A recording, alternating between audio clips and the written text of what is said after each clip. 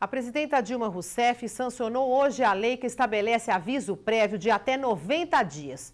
Voltamos com a repórter Priscila Machado, que tem as informações. Priscila.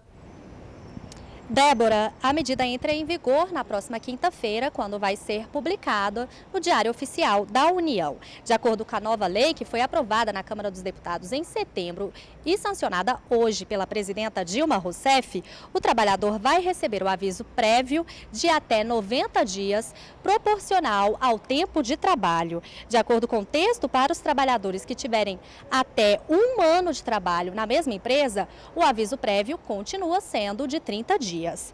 Quem tiver mais de um ano na mesma empresa vai ter acrescentado três dias no aviso prévio por cada ano de serviço prestado. Essa conta vai ser limitada a 60 dias, o equivalente a 20 anos de trabalho.